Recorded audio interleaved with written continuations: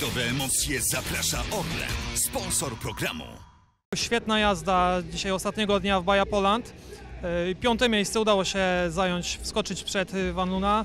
E, Muszą być Państwo mocno zadowoleni. No, najważniejsze, że dogadujemy się coraz bardziej z samochodem. E, Zrobimy jeszcze test zawieszenia. Umówiliśmy się z Stan Brinker, że się z nim zamienimy na amortyzatory, bo mm, on chce sprawdzić moje, ale razem czujemy, że on ma trochę lepszy setup, ale to już się niedużo różni, także możemy być blisko e, dobrych ustawień, a to jest w sumie cenne na Dakar i na to, co chcemy dalej robić. E, To są małe ten. No rzeczywiście dzisiaj była dobra jazda.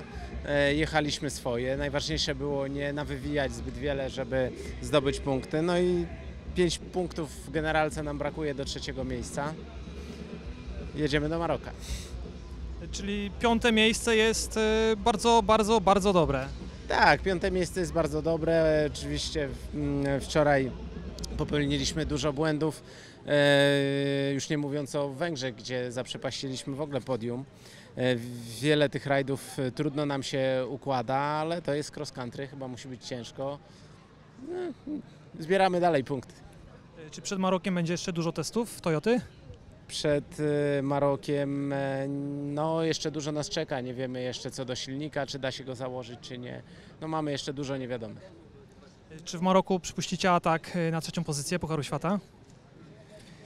E, Na pewno będziemy się starali. No 5 punktów trzeba zdobyć, trzeba pojechać w dyszkę i może będzie ok. Na rajdowe emocje zaprosił Orlen, sponsor programu.